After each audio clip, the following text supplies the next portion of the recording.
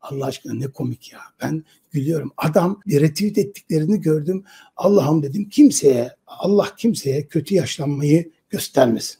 Muhtemelen sabah kalkıyor, ayna karşısına geçiyor. Sabah kalkıyor böyle bakıyor. Allah'ım ben Uğur Dündar'ım. Türkiye'nin en güvenilir ismiyim. Allah'ım ben Uğur Dündar'ım. Halkım benim arkamda. Allah'ım ben Uğur Dündar'ım. Herkes beni övmeli. Siyasetçiler hazır ola geçmeli. Allah'ım ben Uğur Dündar'ım. Türkiye'de hamam böceği de kovalarım. Fırıncı da kovalarım. Allah'ım ben Uğur Dündar'ım.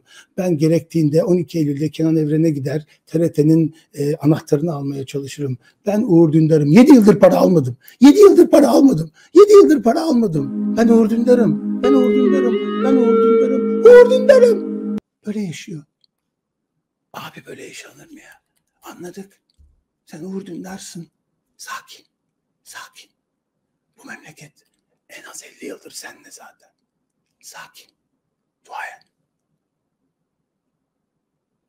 Böyle yaşanmaz.